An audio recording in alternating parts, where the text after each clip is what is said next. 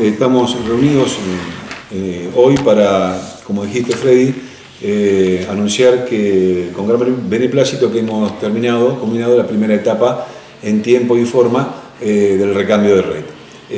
en aquella oportunidad, cuando usted mencionó las primeras notas, habíamos dicho que el plazo que estimábamos de realización iba a ir entre los 12 y los 14 meses y bueno, hemos cumplido con creces ese compromiso que nos habíamos eh, tomado y hoy eh, tenemos que mm, decir que eso ha concluido, que ya están eh, las cuadras que se habían prometido están realizadas y, que, bueno, agradecer sobre todo a los frentistas que con gran paciencia soportaron a lo largo de estos meses los inconvenientes lógicos de, esta obra de, de gran magnitud eh, pensamos nosotros que es una de las más importantes que se está realizando eh, en la ciudad. Así que mm, eh, eso es lo que uno viene a anunciar. ¿Cuántas cuadras fueron? Del proyecto original, que eran 44 cuadras, ya se llevan realizadas 38 y de las 6 que faltan son las que se están haciendo hoy por calle Rivadavia, que se han comenzado justamente ayer, del lado oeste, y bueno, eh, había una etapa que era la, que estaba después de esta, era la que seguía de calle eh, Lisandro La Torre hacia el este, eh, comprendiendo el pasaje Fangio, y eso ya está todo culminado. Quiere decir que las cuadras que se había prometido ya están hechas. ¿Esa era la zona más crítica? Era, era la zona más crítica. Inclusive estuvimos haciendo Vale recordar que en algún oportunidad dijimos el nudo que se había producido en calle Rivadavia, eh, de 1 de mayo hasta Boulevard Torelli, que eso ya forma parte del recambio de red y que ha mejorado notablemente el caudal y la presión a los vecinos de la zona sur, porque de hecho los hechos nos marcan que esta, en este verano eh, no, tuvimos los reclamos de, años anteriores. Este, ¿De cuánto fue la inversión de esta primera etapa? La primera etapa había sido más o menos, rondaba los 10 eh, millones, 12 millones de, pesos. Eh, concluida esta etapa, eh, vamos a, ya estamos en condiciones de anunciar que estamos, vamos a, comenzar la segunda etapa, que va, por, va a ir este, por calle Carolina Ortiz. Son 12 cuadras eh, que van a comprender de calle Butrich hasta eh, calle San Lorenzo. Y ahí sí vamos a completar eh, lo que estamos siempre pregonando, que es, la, que es el beneplácito que va a, producir esto en los habitantes de, la zona sur, porque va a complementar esas obras que yo le comenté recién, la de calle Rivadavia. y de ahí creemos que no van a tener más problemas en caudal y en la presión. Es, quiero recordar que esa, eh, se tuvo que modificar la traza de, esta segunda etapa, que originalmente estaba eh, programada para hacerla por calle Butrich. Pero mm, eh, después, este, en distintas ocasiones, en cambios de opinión en la unidad de gestión, se, se hizo, se, digamos, decidió hacerla por la calle Carolina Ortiz. El hecho pasa en que por la calle Carolina Ortiz la cañería pasa por debajo de la traza de la calle. El continuo pasar de camiones hace que eh, se vaya rompiendo. De hecho está que muchas veces tuvimos que hacer el corte de suministro eh, en toda la ciudad eh, por, por, estos, por estos problemas ocasionados. Por eso creemos necesario sacar de la, de la traza de la calle la cañería que está pasando y ponerla donde corresponde, evitando así futuros inconvenientes.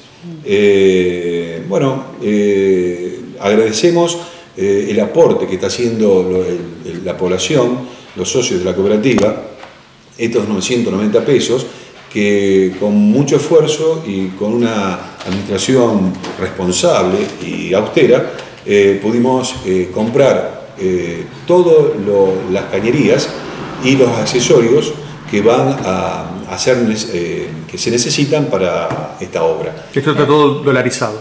Esto está todo dolarizado y, a nadie escapa los inconvenientes que estamos teniendo en la economía argentina.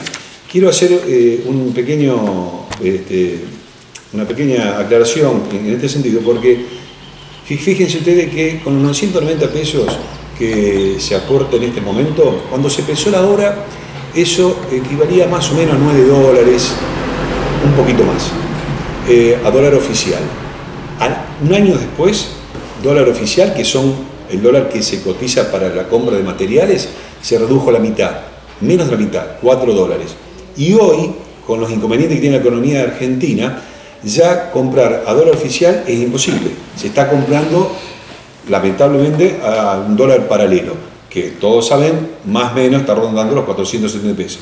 O sea que de esos 990 pesos iniciales hace un año, que, eh, eran equivalentes a 9 dólares, hoy son 2 son dos dólares. Apenas. ¿Hay posibilidad de que aumente el monto para la gente lo que tenga que No, no, no, no. no. Eh, vuelvo a repetir, gracias a una, a una administración austera y responsable, ese monto se va a mantener, si Dios quiere, hasta fin de año. Lo que sí eh, cabe destacar que, como todos los aumentos vienen, eh, está dado por dos cosas. El aumento en dólares, que es prácticamente semanal y diario, y eso se suma al otro aumento de la devaluación del peso, obviamente que se nos hace difícil eh, poder comprar todos los materiales, este, la, cantidad de material que se mueve antes. De todas formas, quiero aclarar que para la segunda etapa ya están comprados todos los materiales y los accesorios para darle continuidad a la primera etapa. Bien. Es decir, la materia prima está. Exacto. ¿Y cuándo comenzaría la segunda etapa? Ni bien tengamos finalizada la primera, es decir, cuestión de mes, mes y medio, todo, depende de una serie de acontecimientos, ¿no es cierto? De lo que puedan llegar a demorar en terminar estas cuadras. Y yo quería aprovechar a la vez para explicarle que eh, ahora viene el proceso de evaluación. Es decir, si aquello para lo cual hemos luchado tanto de modificar, de cambiar la cañería y demás, empieza a dar su resultado.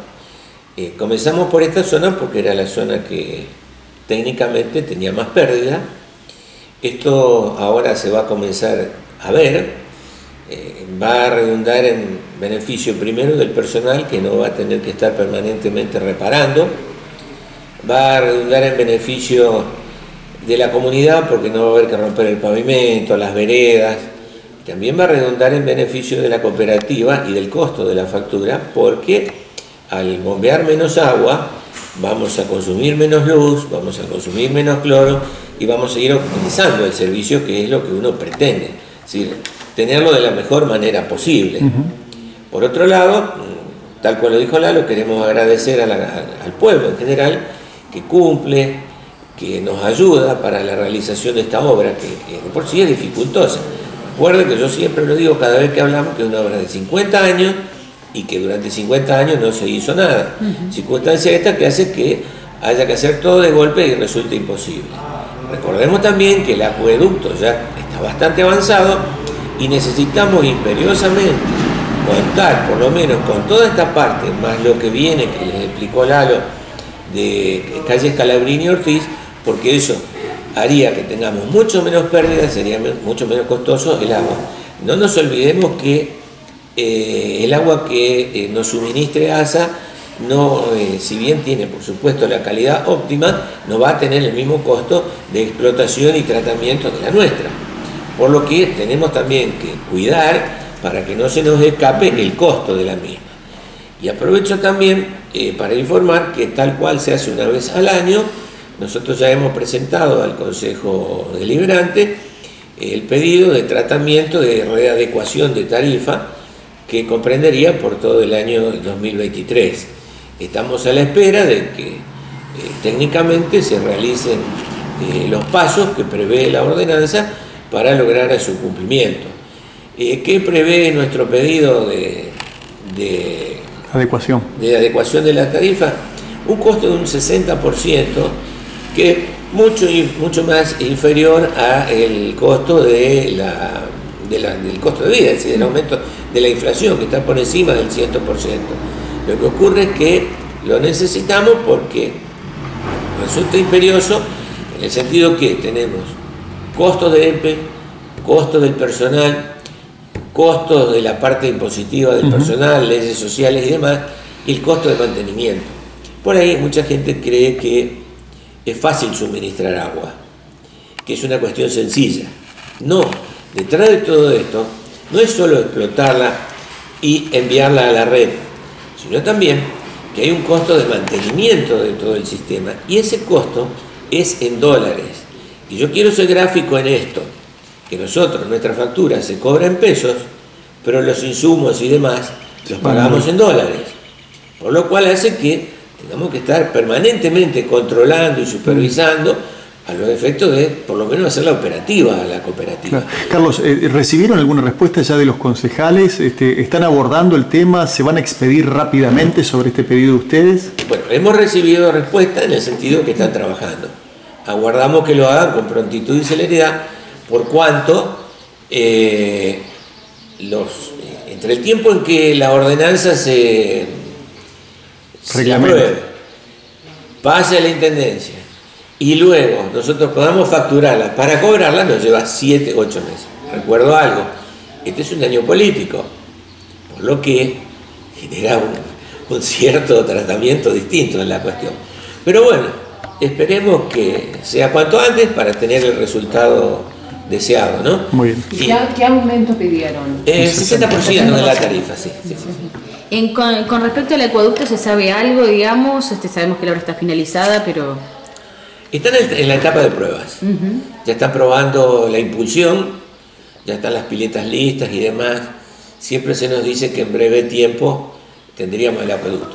Yo quiero aclarar algo también sobre este tema, que resulta de vital importancia para nosotros. Porque cuando se previó la realización del acueducto, se hicieron las estaciones de bombeo y demás, pero no se contempló la posibilidad de la aplicación de un grupo electrógeno ante el evento de que se corte la luz. Entonces eso hace que nosotros también tengamos que tener alistado un grupo electrógeno, el nuestro tiene 50 años y no está en condiciones.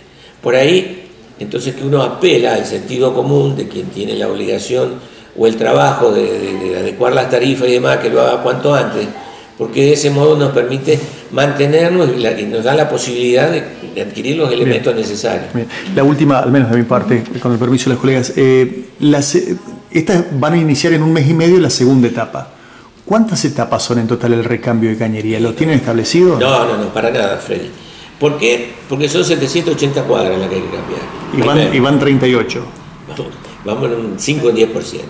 Lo que ocurre también es que dependemos de una serie de factores el tiempo, el trabajo, el lugar en donde se trabaja y el dinero que se Para recauda. la compra de. Lo que sí quiero aclarar, que nosotros todo lo que se hace, previamente se compraron los materiales y el dinero está. No vamos a hacer nada en el aire. Bien. Es decir, todo documentado.